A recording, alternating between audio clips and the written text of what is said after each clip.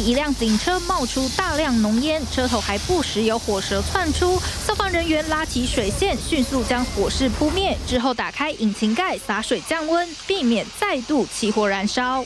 这起火烧警车意外就发生在金丰路与行善路口，当时内湖交通大队两名员警结束九测临检，在回程途中发现车头冒出白烟，赶紧停靠路边。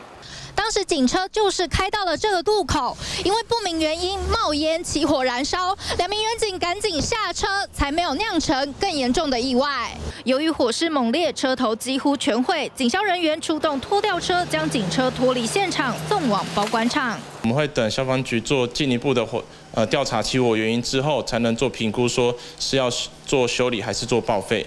这辆起火燃烧的警车，车龄七年，四月底才刚通过定期装备检查。远警当时慢速行驶，为何会突然起火燃烧？如果说风扇老旧的话，哈，它高速转动不起来，那个那个马达就会过热，过热它是本身就没有那个保险丝，它就引燃了。最近天气赤炎炎，是不是因为引擎过热才会起火燃烧？详细原因还有待调查。只是身为人民保姆，辛苦深夜巡逻，却碰上火烧车意外，真的是惊险一瞬间。幸好没有人员受伤。记者杨忠胜、陈芷芳台北报道。